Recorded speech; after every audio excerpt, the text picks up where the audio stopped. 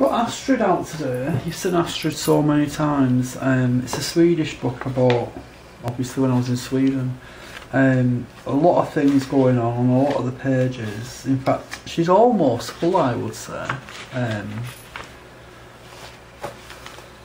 loads of just different scraps of things. I did this with you last time, and these little snippets of cloth, and then I did this and I didn't like it, so I didn't show you. I'm showing you now though.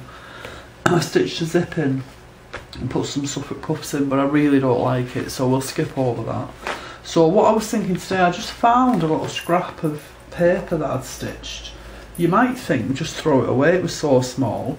Um, it's this paper that's coming off the edge of this circle, it's machine stitched paper and it was just, I was looking for something else and it was just there and I thought oh, I'm going to do something with that. So I just cut a disc of white paper out and I pin pricked a little bit. So now before I put it in, I want to just put a few French knots on it, just to give it a bit of texture. And then I'm just going to put it in Astrid. So if you've got a little storybook like this, I know I'm all storybook at the minute because of the class we're doing, Stitching a Story, which is nearly finished, I can't believe it. Anyway, so it doesn't hurt to just have a little book somewhere that if you find a scrap that ordinarily you might think, oh, I'll throw that away, that's no use. Well, perhaps don't throw it away. Give it another chance, you know, or do something else with it.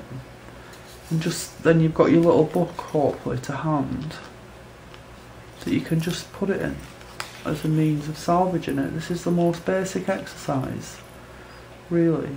Um,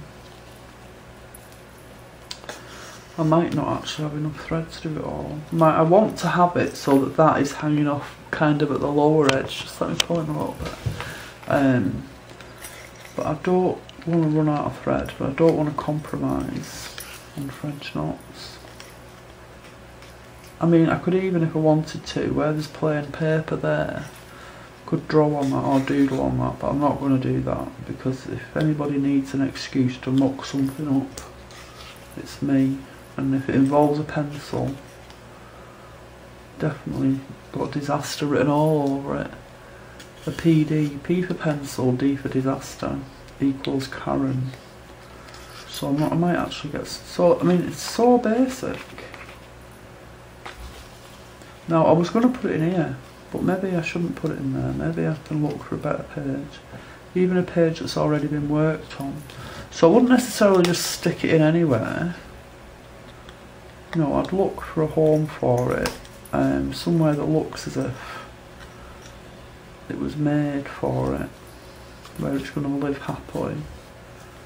So, I'm just going to thread this through a couple of times to fasten it on.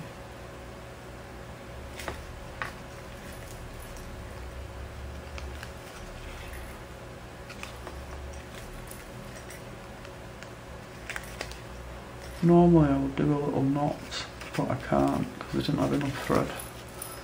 So, so I'll just have a quick gander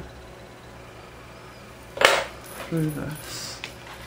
Like I said, I don't like that, so I'm not going to take a picture of that. Look at that because it's the last time you're going to see it. Will it live on here? But then you've seen that quite recently, so I don't want you to think I'm showing you the same thing again. It would actually look nice there, wouldn't it? But I'm not going to do it. I'm going to try and find somewhere else. A look here. Might look quite nice there. On that page, but then maybe it needs something a bit brighter. So just pick yourselves up a little children's book or something. Actually. Yeah, I think it'd be nice there as a seal there on the end of that page. It's going to be a nightmare to take pictures of this, honestly. Yeah, I'm going to put it there. And then it kind of runs along, there's kind of a theme going on there now because I've got textured paper here and here. So yeah, it's going there. So I'm just going to literally tie it in. Nothing scientific, nothing complicated. Just literally going to tie it in. Um, now if I wanted to as well, just give me a second to thread my needle. If I wanted to, I could extend the knots onto the page. wonder if that would be a good idea. I don't know why I did that, 'cause I thought...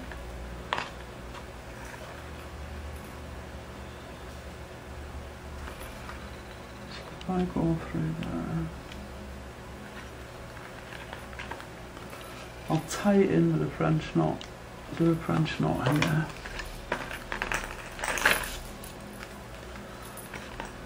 Oops. One, two, three.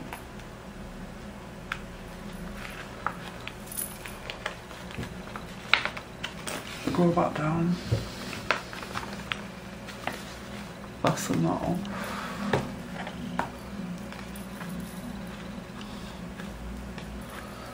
Put another knot in this and see about. I don't want this to turn into a five hour video though. Um, don't want anybody growing beards on my watch. Right, so it's actually moved, so it needs one at the bottom anyway. So if I put one here to secure it at the bottom.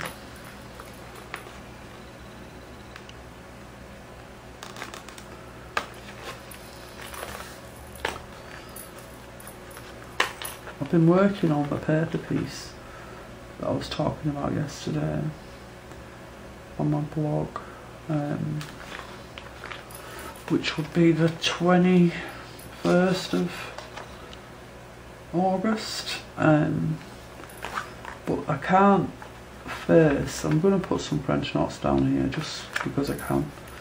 I can't face trying to take pictures of it in the horrendous wet dark and dreary weather we've got today. Because I can never get brilliant pictures of white in this weather. And I know this is white but at least it's got a bit of a background on it that might help with the pictures. So I could do them all the way down. I'm not going to because you this video will be horrendously long. But just two there um, and people who know me know I don't like even numbers, so I'm going to have to do another one so it's three. I haven't got a fear of even numbers, I'm not quite that bad, but I don't like them. Give me an odd number any day. Which is weird because I live at number 10. But I can't necessarily change the number of my house, so fasten that off. And then that's just that little tiny scrap that would have otherwise ended up in the rubbish now preserved in a book. There. So get yourselves a little book, cheap book, not too expensive. And if you find a little scrap you think, oh, I'm going to put that in the bin, and think, no, I'm not going to put it in the bin, I'm going to put it in the book. And before you know it, you'll have a book that's full of lovely things. Homework, again, I gave you homework with swatches last week, I'll give you homework this week. The tiny scraps in little books.